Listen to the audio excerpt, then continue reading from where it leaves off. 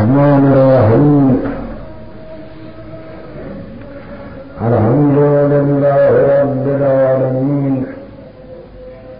والعاقبة للمتقين. والصلاة والسلام على سيدنا ونبينا محمد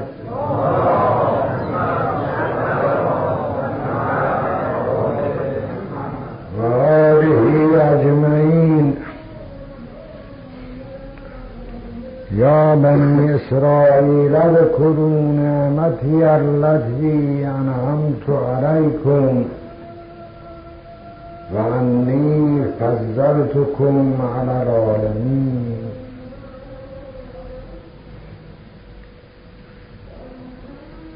نتیجه نعمای الهی به از نعمای روحانی و نعمای مادی.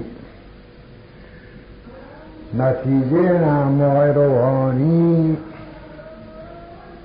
با بصیرت عقلیه با رابطه عقل. و با رابطه نفس ناطقه.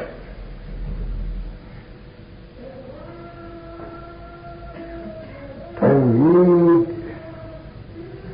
و معراج بشریت. انسان باید اون معراجی که صلات میگه از صلات و معراج المؤمن که او عبارت پرستش خالص حق تعالی و حسر استعانت به خدای تعالی و انقطاع از ما سوا. که اینها از آثاری از رابطه عقل انسانی است که این عقل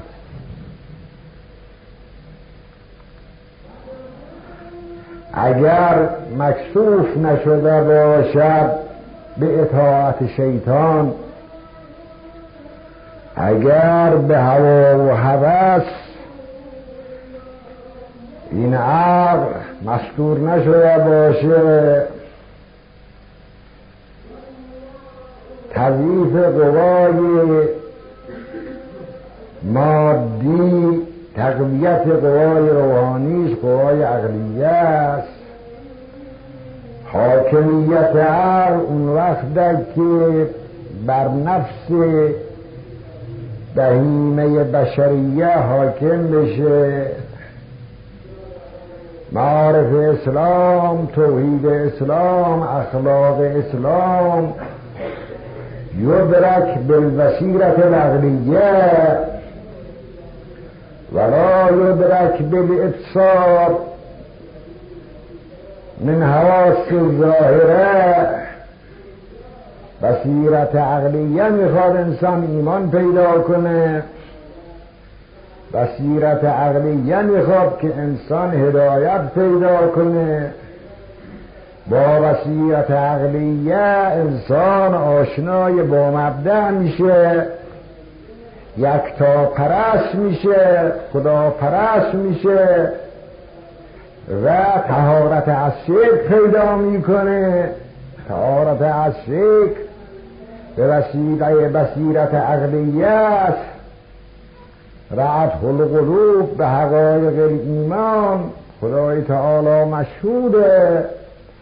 ولی برای کسی که عقلش مکسوف نباشه عقلش منکسف نباشه اتباع شیاطین نباشه اتباع هوا و هوس نباشه یه همچین حجتی خدا در هر نفسی از نفوس بشریه و دیه گذاشته و ما از این ودیه الهی استفاده نمی کنیم. همه جور نعمای خدای تعالی به بنی اسرائیل داد. از نعمای مادی نعمای روحانی انبیا چقدر انبیا چقدر کلمات وحی. ولی وقتی که انسان بیلیاقت به جای اینکه خاشع بشد از دستگاه خدا توریان محال کسی که معرفت به خدای تعالی داشته باشد تاغیرش برای اینکه عارف به خدای تعالی تمام برکات تو درک می‌کنه از رحمت الهی به او مربوط نیست. حالا یه گوشه هم نصیب تو ولی برکت برکت خداست. رحمت های الهی موجب از برای این است که امید به غیر خدا نداشته باشه. در هر مرحله از مراحل انسان مستقرق در نعما الهی ها.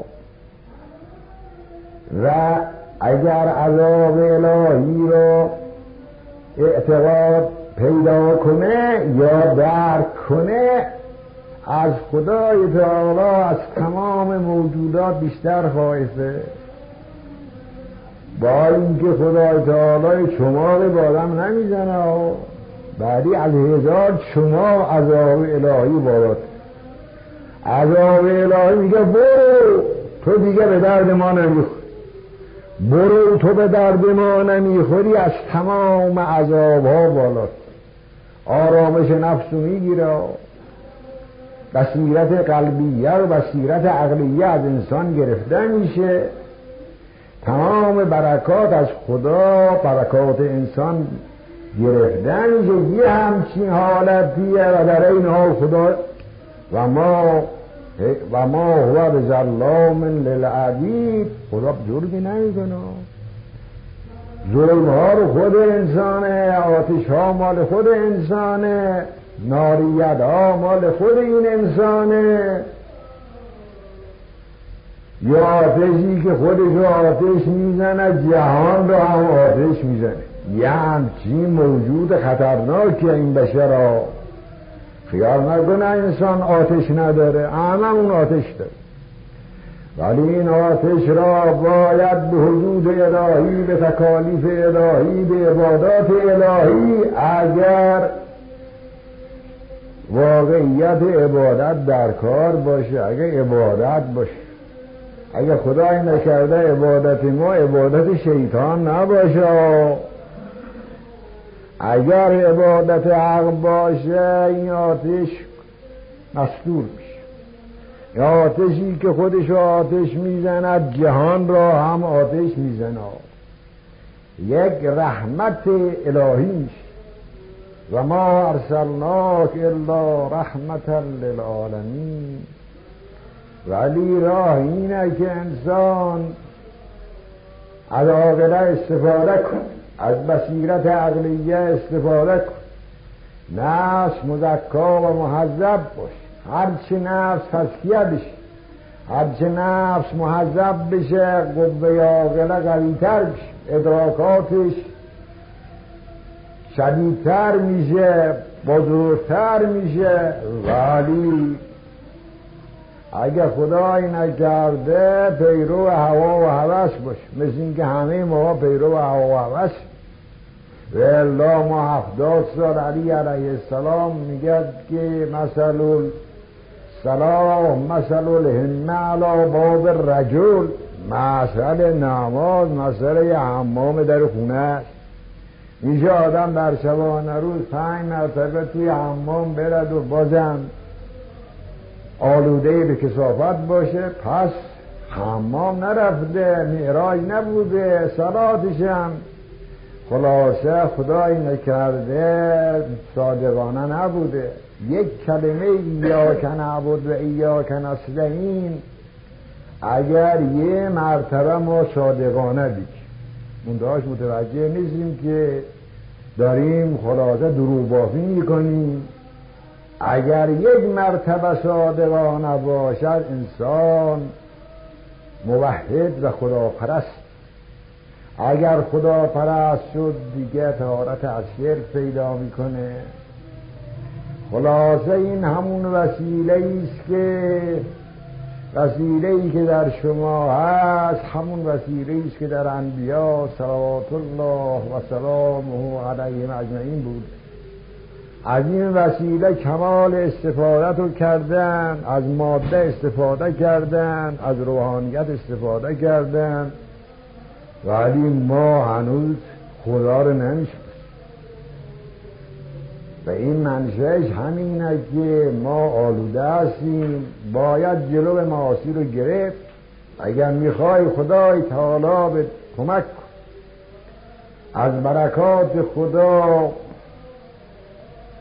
کمال استفاده رو با حرف نمیشه خلوت و جلوت باید محرمات الهی به جا نیورد این توتعه ها و عرض می‌شد دروغگویی ها و تومت ها و کمفروشی ها و کلاگذاری هایی که ما شیطنت هایی که ما اسمشو آقله گذاشتیم یه هم معاویه میگو ما انما اطها من عبی من خیلی مرد چیز فهمی حالا به یاد بیگد خیلی چیز فهم بوده که قبرش مزبله خاکروبه هاست هر که خواستد اقدامی بکنه برای احیای قبر معاویه با یک عذاب الهی از بین رفته.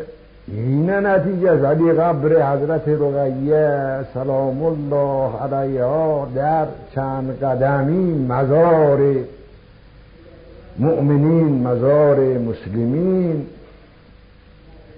اینی که روشن فکر را میگن این عقله این اشتباه کردن. این کدش عقله؟ اینی که تو موجب همه حراکت هاست موجب همه آتش هاست. تمام آتش های دنیا از این بیدا که نبازرش میگه عاقله. عاقله اون است که تو رو از آتش نجات بده. و با وسیرت عقلیه خدای تعالی شما را نورانی کنه. به همون نوری که الله ولی الذین آمنوا یخرجهم من الظلمات الى النور. یه همچین نوری در بشره ولی خب این نور رو خاموشش نکنید کلیدش دست شما را. کلید این نور اگر خاموش بشه خلاصه دیگه بی نور است. کلیدش اینه که معصیت خدا نکنید توتعه نکنید این زرنگی ها بگذارید کنار اینا نازرنگیه. اگه زرنگی هستی در دستگاه خدا زرنگ باش. زرنگ اون بود که به اراده و به عشیت او هر ردت شمس یوما لبن هنتمتن هل هوا کوکبون فی بیت عثمانی. اونی که شمس و هم در اختیارشن.